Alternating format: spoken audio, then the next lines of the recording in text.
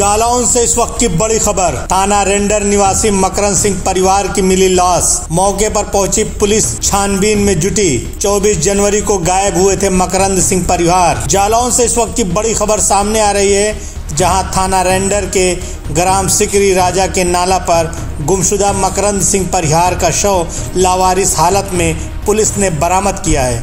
आपको बता दें कि 24 जनवरी से मकरंद सिंह परिहार गायब थे।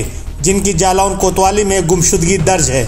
मौके पर पहुँची पुलिस ने शव को कब्जे में लेकर पोस्टमार्टम के लिए भेज दिया है और आगे की कार्रवाई पोस्टमार्टम रिपोर्ट आने के बाद की जाएगी। क्षेत्राधिकारी जालौन राम सिंह का कहना है कि डेड बॉडी देखने से ऐसा लग रहा है कि इनकी मृत्यु ठंड लगने से हुई है। जी, ये ग्राम किलारी थाना रेंडर के अंतर्गत आता है। यहाँ पर एक डेड बॉडी की सूचना पर मैं क्षेत्राधिकारी जालौन, एसएचओ रेंडर साहब और जालौन एस एच साहब द्वारा मौके का निरीक्षण किया गया है।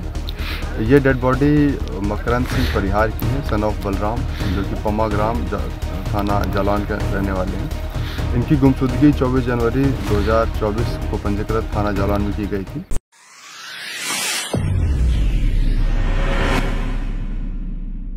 राहत सेवा संस्थान सर्व मानव अधिकार। मानवता के लिए बढ़ते कदम में आप भी अपना सहयोग करें।